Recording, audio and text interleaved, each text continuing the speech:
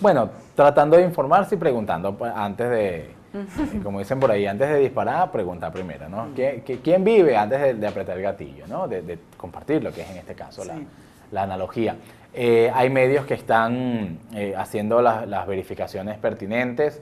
Eh, yo entiendo que hay muchas veces que te llega una información que de alguna manera es falsa y no encuentras dónde verificarlo porque los medios todavía no han recibido esa información falsa y por lo tanto no han procesado el desmentido. Eso pasa a veces. Sin embargo, lo mejor siempre es, preguntar, pero no preguntar compartiéndolo, no es te manda la nota de voz de WhatsApp y después pregunta abajo qué saben de esto. Porque la nota sola y va a seguir rodando, ¿no? Es pregunta, mire, está, hay medios que todavía están haciendo el trabajo.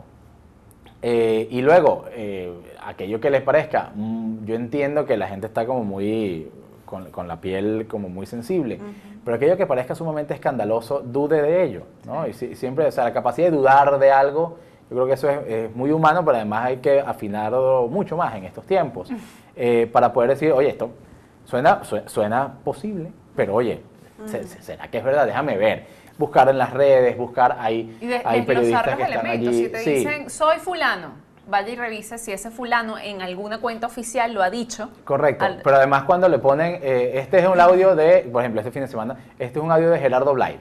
Ah, sí. Que no dice que es Gerardo Blay. Si usted le dicen, ese es no sé quién, pero en el audio no lo identifica, no, se identifica, no, dude. ¿no? Porque ahí ponían uno de Delsa Solórzano donde ya se identifica, soy Delsa Solórzano, claro. y está el día, está Lora, José Guerra también ha grabado Sí, sí, ha grabado. Así, ¿no?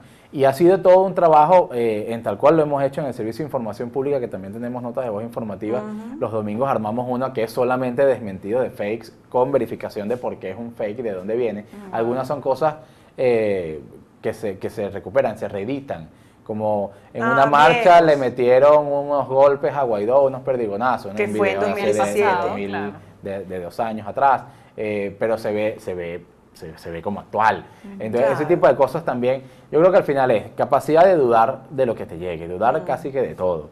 Y luego tratar de armarse uno una, una especie de, este es mi, mi, mi, lista, si es en Twitter, este es círculo mi, mi círculo de confirmación. Claro. Yo leo a estos medios, yo leo a estos periodistas, y estar pendiente, ojo, el periodista que se, equivocan, bueno, lo sacas de la lista, pues ya claro, está. Claro, Pero la, la, la claro, lo que pasa es que el tema es que los periodistas cuando se equivocan después rectifican. Tiene que rectificar, yo me equivoqué, yo me equivoqué, aquí está una, una errata. Claro. Eh, entonces, y trata de que sean periodistas que no se equivocan muy a menudo. Claro, bueno, evidentemente, pero el periodista está en el deber de, de, enmendar ese error porque precisamente en aras de su credibilidad, bueno, no son infalibles, no somos infalibles. Totalmente. Y podemos equivocarnos en algún momento, pero eh, pues enmendar el error. O sea, al final es, piense un poquito, no se deje llevar por el impacto, la, emoción, Sí, sí. O, por, o por el impulso, es decir, yo tengo que compartir esto porque esto me parece alarmante, ya va, cuidado, cuidado, porque probablemente es una alarma innecesaria, a veces hay alarmas reales, pero dejemos que nuestro impacto emocional sea aplicable a cuando la alarma sea real, para que la respuesta sea sea real. Una sociedad mejor informada es una sociedad que toma mejores decisiones. Entonces también eso tenemos que, internalizarlo como sociedad. Eh, porque tenemos que buscar la manera de estar mejor informados. Si estamos muy desinformados, tomamos pésimas decisiones. Si nos caemos a cuento de que, yo qué sé, Hugo Chávez hizo que los precios del petróleo mejoraran, eso es mentira, pero ha sido una información falsa impuesta desde el poder durante dos décadas. Entonces, claro, llega un momento que pasa a ser la narrativa del país, pero eso no era verdad. Y en base a esa información falsa se tomaron decisiones electorales y de otro tipo. Entonces, mm. no tiene nada más que ver con, con el audio que te llega por WhatsApp o el tweet que eh, leíste y, te y le diste RT, etcétera. Tiene también que ver con toda la narrativa que se genera alrededor de la vida, o sea, alrededor de toda la información que nos llega. Hay que ser muy cuidadoso, eh, dudar mucho y siempre tratar de buscar, oye, suena real, pero déjame ver si es verdad, déjame ver quién lo está diciendo, quién es esta persona que me lo manda, por qué me lo manda, quién se lo mandó a esa persona. O sea, porque al final la información falsa es como un virus. Nadie sabe de dónde comenzó la gripe, pero a ti te llega, alguien te la pegó. Claro, y la puedes seguir diseminando, y la que, es lo peor, que es lo peor, contagiando a la gente. Así es. Bueno, gracias Víctor por, estar acá. Dices que los domingos el servicio de información... Sí, el servicio de información pública, tenemos página web ahora. Ah, Ah, eh, servicio de información pública.com, arroba infopublica en todas las redes. Todos los domingos en la noche sacamos un, un, sí, sacamos una, un resumen de unos cinco minutos, que es solo audio, donde desmentimos varios de los fakes que van rodando por allí. Eso debe generar más eh, trabajo que el de la semana.